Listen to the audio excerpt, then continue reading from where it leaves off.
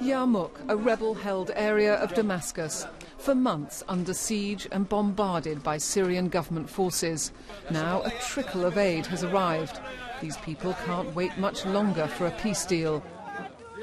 This woman says, We've received nothing. Our children are dying of hunger. Are we animals? Two days ahead of long anticipated talks in the Swiss town of Montreux, the UN Secretary General has dropped a diplomatic bombshell, an invitation to Iran.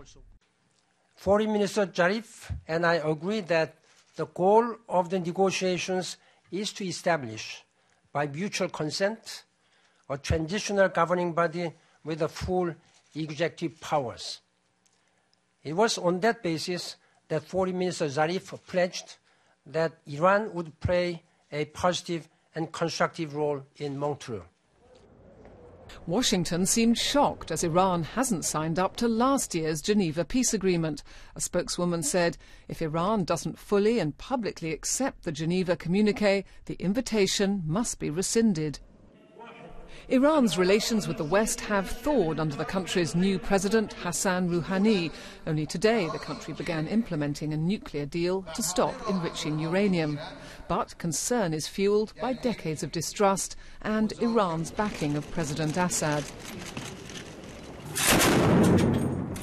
As the fractured rebels continue their battle, Syria's main opposition group has now threatened to pull out of the talks. Just on Saturday, it had finally agreed to take part.